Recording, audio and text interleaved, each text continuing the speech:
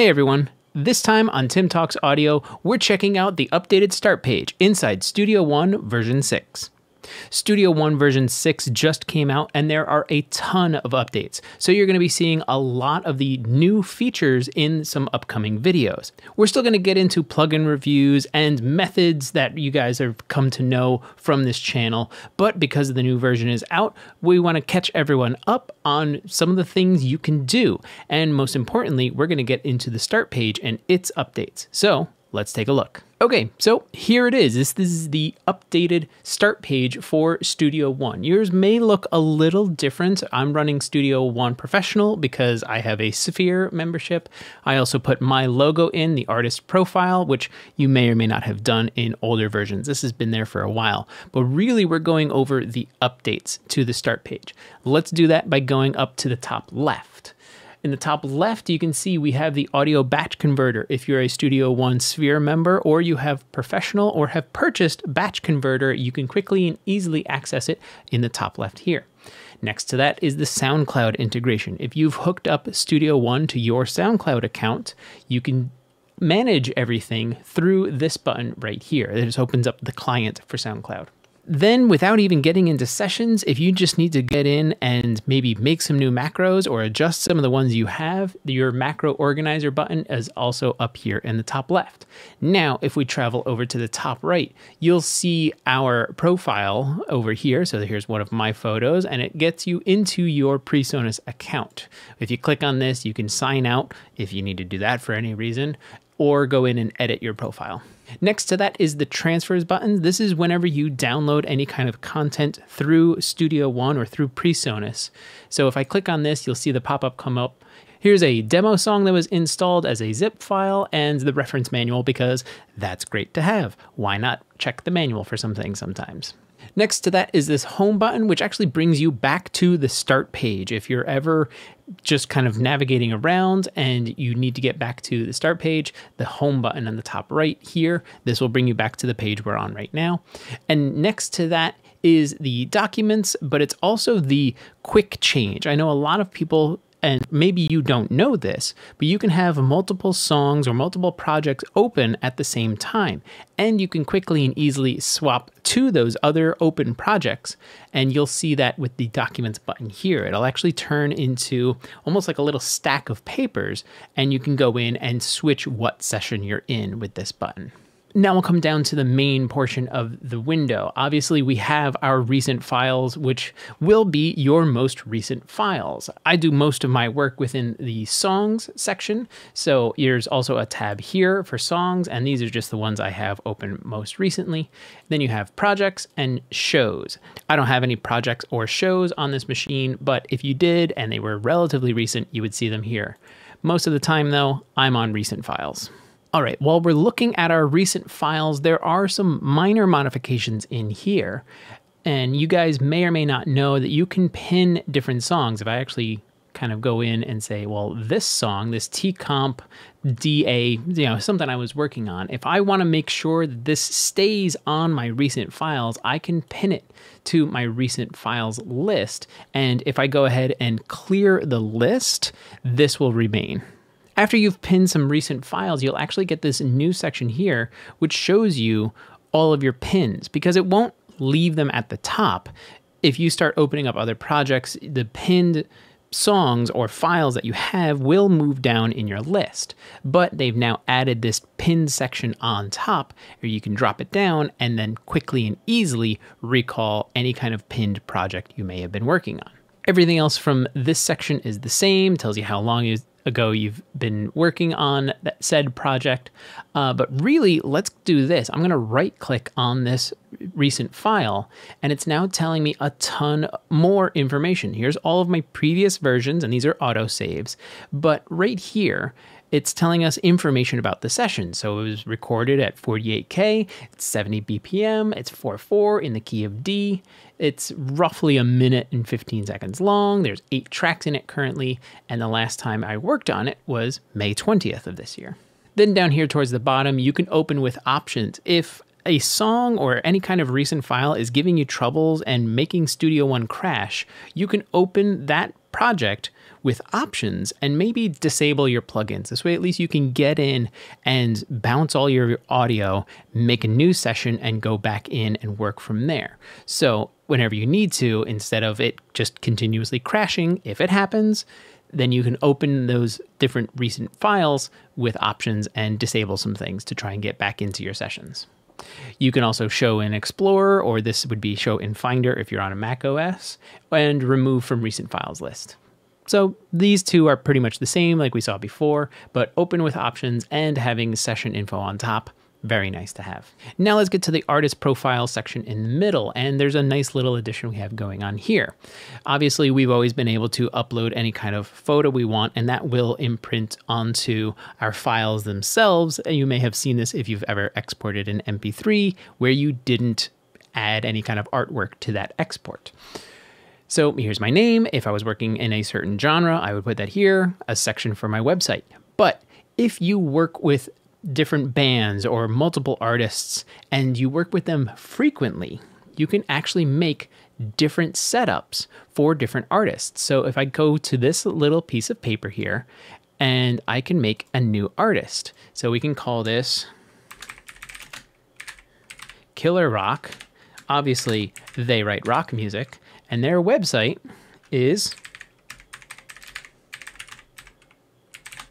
killerrock.com.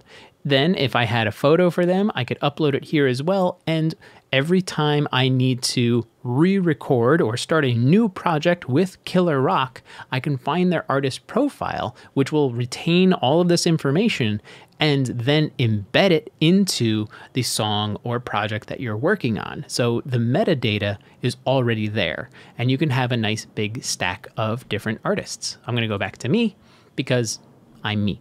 SoundCloud integration underneath that, you would get a lot of stats if you had this connected to your SoundCloud, like plays and number of songs, uploads, etc., etc. That would all populate here.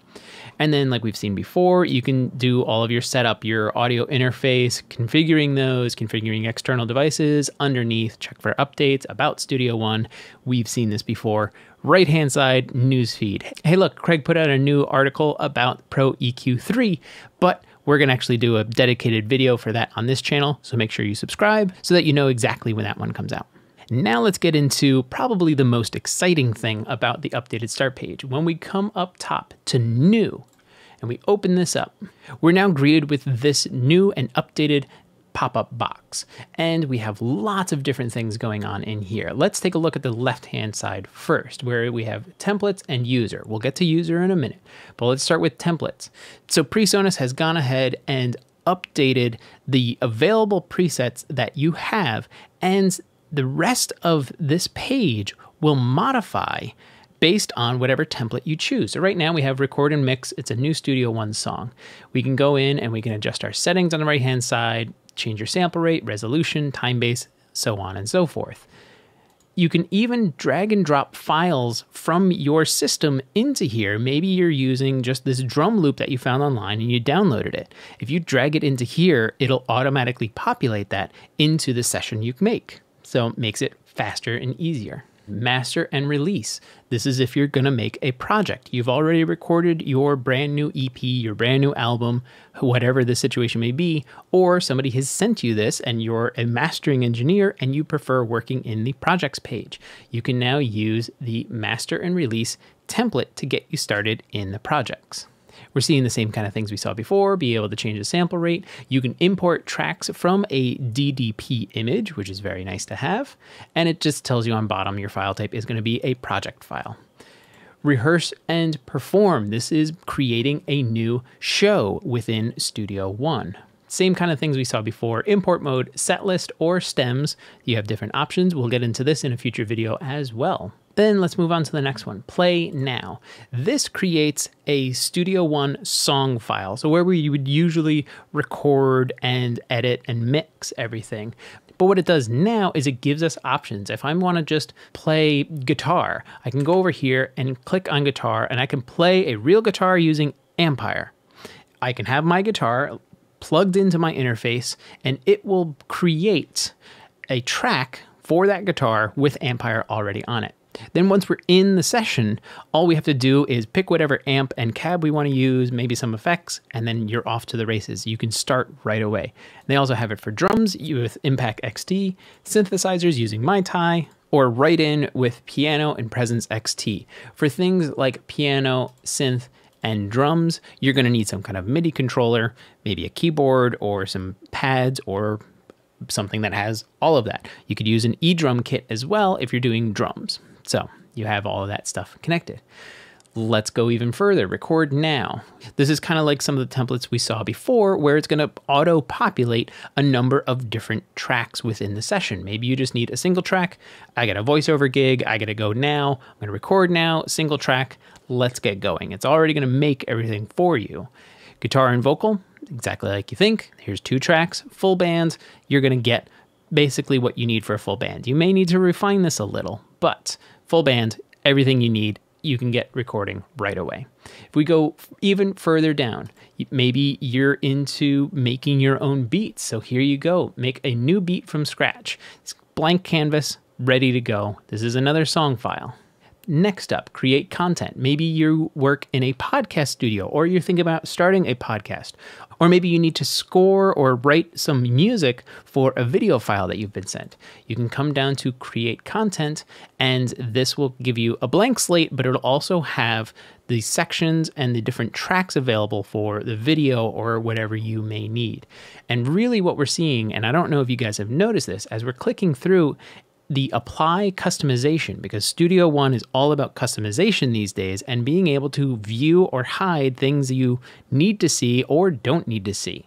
So you'll notice with Create Content, the customization of audio editing, which is one that Studio One provides for you, just kind of reduces things down. It gives you the basics of what you need for editing audio. If we go back to produce beats, we're back to complete, where it has everything, all of the buttons visible and available.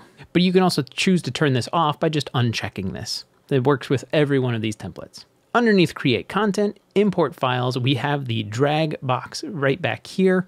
You can drag in your video, you can drag in your audio files or your loops or your MIDI and get going right here.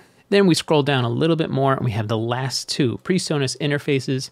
If you have a different PreSonus interface, there's so many options in here. It's going to have it set up and ready for you. And then at the very bottom, you have the demo song from Alina Smith and Max Coney. This is called Rhythm of the Night. It's a song file, it shows you everything, and it's a complete song available to you so you can practice your editing, you can practice your mixing, you can practice your mastering, whatever you want to. Here's a complete song ready for you to just dive in and manipulate however you need. Now let's go to user. If you've created your own templates in the past using maybe my video to show you how to do that or somebody else's, or you just already knew how to make your templates, this is where they're going to show up. So maybe I'm working on the podcast I work on frequently. Here it is. I can start my session, get into it, and everything's going to be the way that I had it set. All right, we're good with this window. Let's get this out of here for now. Open does exactly like you think. You can open it from here if it's not in your recent files list. And then join is up here as well. Join opens up the PreSonus sphere. And from here, you can see all of the different workspaces and folders and everything that you have through your PreSonus sphere collaborations are going to show up right here.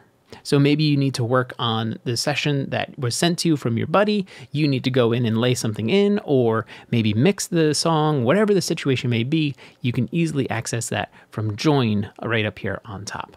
So there you go. That's just some of the new things inside the brand new start page on Studio One version 6. Like I said earlier in the video, there's a ton of added features, so you'll be seeing a lot of videos highlighting just key elements of Studio One version 6. That's all for now. If you found anything informative, please like and share the video. If you're looking to join the community or you want to know about mixing or lesson information, join the Discord. There's a link down in the description. And if you have a question, ask it in the comments and I'll answer it in a future video. Thanks for watching.